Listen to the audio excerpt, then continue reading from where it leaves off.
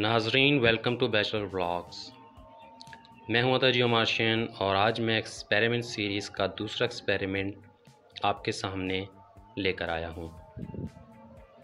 नाजरीन, इस एक्सपेरिमेंट में हम एक्चुअली किसी भी रॉक की हार्डनेस को फाइंड करेंगे और ये हम इसलिए फाइंड करते हैं ताकि फ़ील्ड में जब हम कोई टनलिंग का प्रोजेक्ट कर रहे हों या कोई ड्रिलिंग का प्रोसेस कर रहे हों तो उसमें जो कटिंग टूल यूज़ होते हैं, उसके कटर्स को हम देखना चाहते हैं कि उनको कितनी रेजिस्टेंस का सामना होगा फ़ील्ड में रॉक जो मौजूद है उसको कट करने के लिए। तो इसके लिए नाजीन नहायत उम्दा और आसान एक्सपेरिमेंट हमारे पास मौजूद है, जो साइंटिस्ट और इंजीनियर्स ने बिल्ड किया है। इसका टॉपिक है इंडेंटेशन हार्डनेस इंडेक्स या आई एच आई एक्चुअली इसमें हम एक रॉक सैंपल को प्रिपेयर कर कर पॉइंट लोड टेस्ट ऑपरेटर्स में, ये पॉइंट लोड टेस्ट ऑपरेटर्स है, इसके, इन प्लेटन्स के दरमियान में हम उस कोर सैंपल को रख देते हैं, उस पर हम लोड पुट करते हैं और हम ये मैयर करते हैं कि कितनी पेनिट्रेशन उस रॉक सैंपल में हुई। अगर पेनिट्रेशन इन प्लेटन्स की या इन जो ये कॉनिकल नोक वाले आपको दो जॉ नज़र आ रहे हैं, जिनमें सैंपल लगा हुआ है।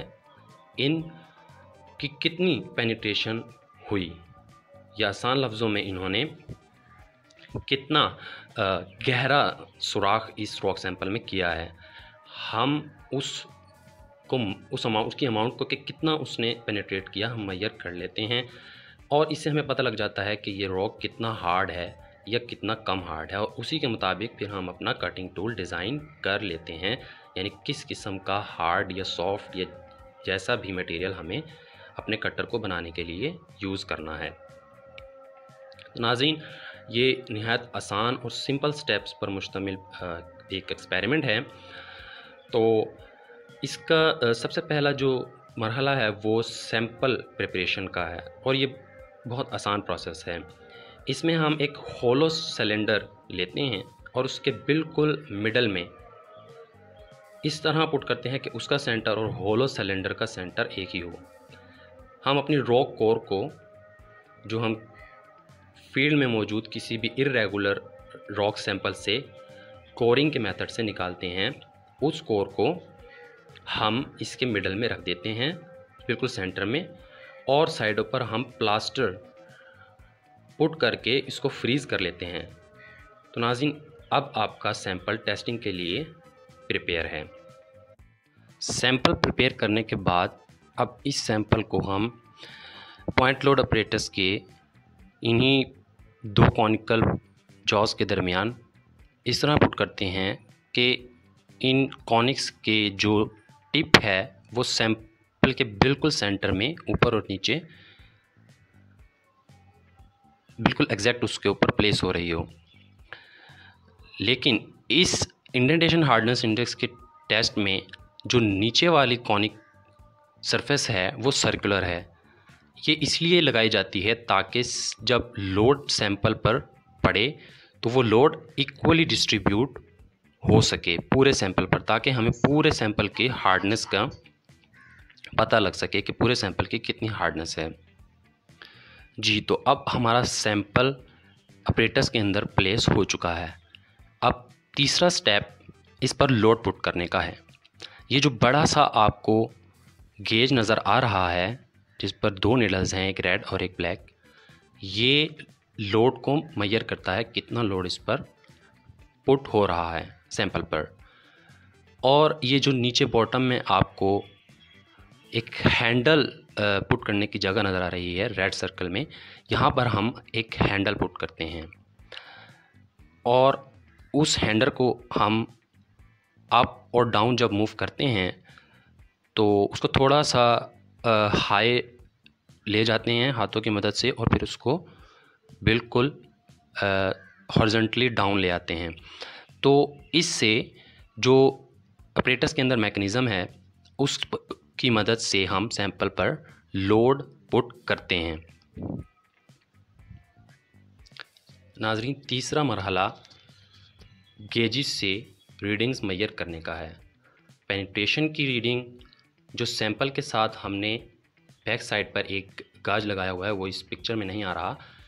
डिफ्लेक्शन गेज हमने लगाया होता है सैंपल के साथ, वहाँ से हमारे पास पेनिट्रेशन की रीडिंग आ जाती है कि कितनी पेनिट्रेशन कितने मिलीमीटर पेनिट्रेशन हुई है? और इस जो सर्कल गेज है लोड गेज इससे हमें पता लग जाता है कि कितने जो, कितना जो लोड है वो सैंपल पर मैक्सिमम लोड पुट किया है, जिस पर उसके अंदर ब्रेक्स या क्रैक्स या फ्रैक्चर्स प्रोड्यूस सैंपल में प्रोड्यूस हो गए हैं। नाजरीन, अगला मरहला है रीडिंग्स को एक टेबल में नोट करने का और उनको फार्मूलाज की मदद से कैलकुलेट कर कर वैल्यूज़ फाइंड करने का। I H I indentation hardness index और यूनी एक्सियल कंप्रेसिव स्टैंड यानी यू सी एस की वैल्यूज़ ये वैल्यूज़ बहुत ही मददगार होती हैं जब हम किसी भी प्रोजेक्ट में कटिंग टूल्स को डिज़ाइन करते हैं।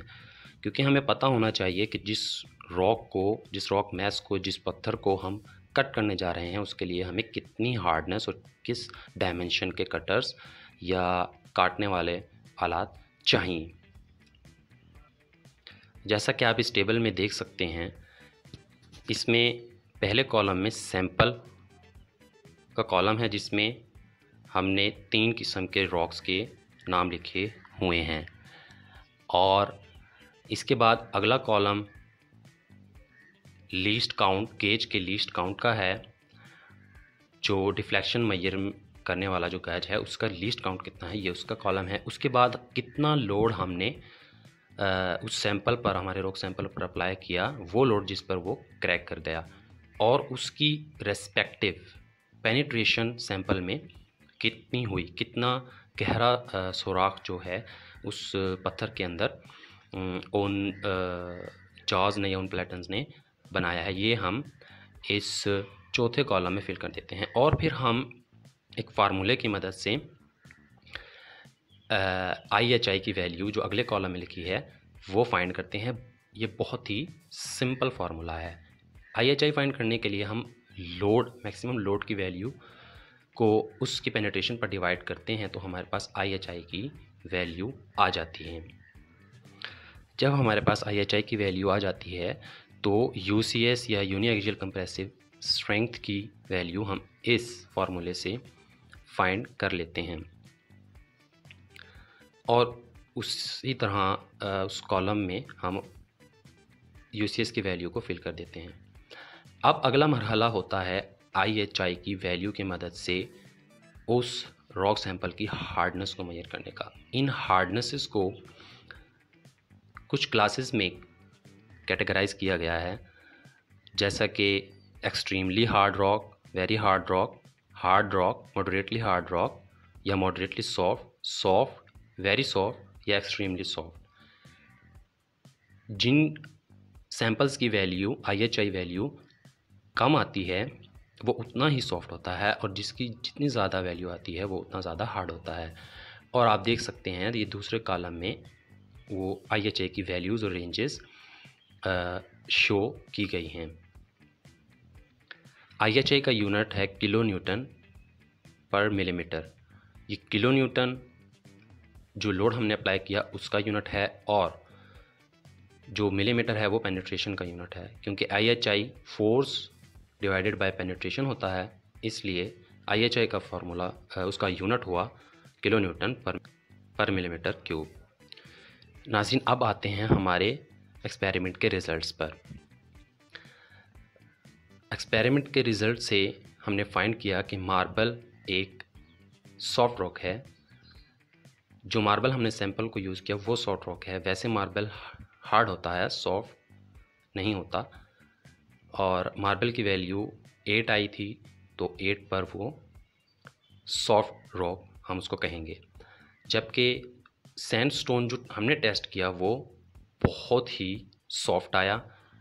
और जो थर्ड सैंपल है हमारा, जो तीसरा मार्बल का हमने रॉक सैंपल यूज़ किया, उसकी हार्डनेस भी हमारे पास सॉफ्ट आई।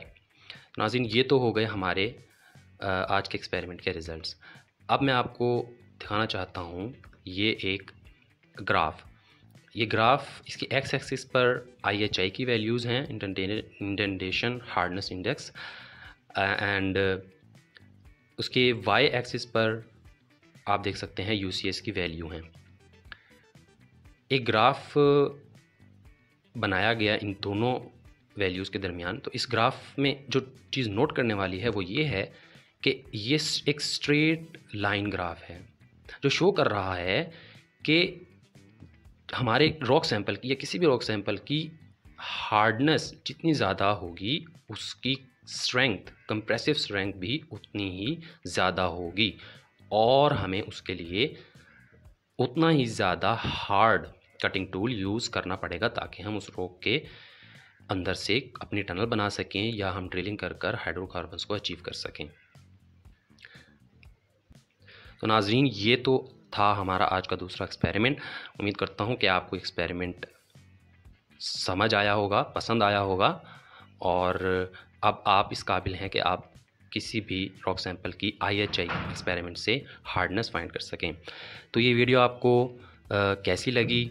आप कमेंट सेक्शन में मुझे बताइए, वीडियो को लाइक कीजिए, शेयर कीजिए और चैनल को सब्सक्राइब कीजिए क्योंकि बहुत इंटरेस्टिंग वीडियोस आने वाली हैं। एक्सपेरिमेंट्स भी आएँगे ट्रैवल व्लॉग्स भी मैं आपके साथ शेयर करूँगा शॉर्ट फिल्म्स पर भी मैं काम कर रहा हूँ जो मैं आपके साथ शेयर करूँगा इस चैनल पर। और इसके अलावा सब कुछ बताने के लिए नहीं है, कुछ छुपा के भी रखना होगा। बहुत कुछ आपके लिए इस चैनल पे आने वाला है तो इसको सब्सक्राइब कीजिए शेयर कीजिए एंड अभी के लिए गुड बाय हाफिज़ मिलते हैं फिर अगले वीडियो में।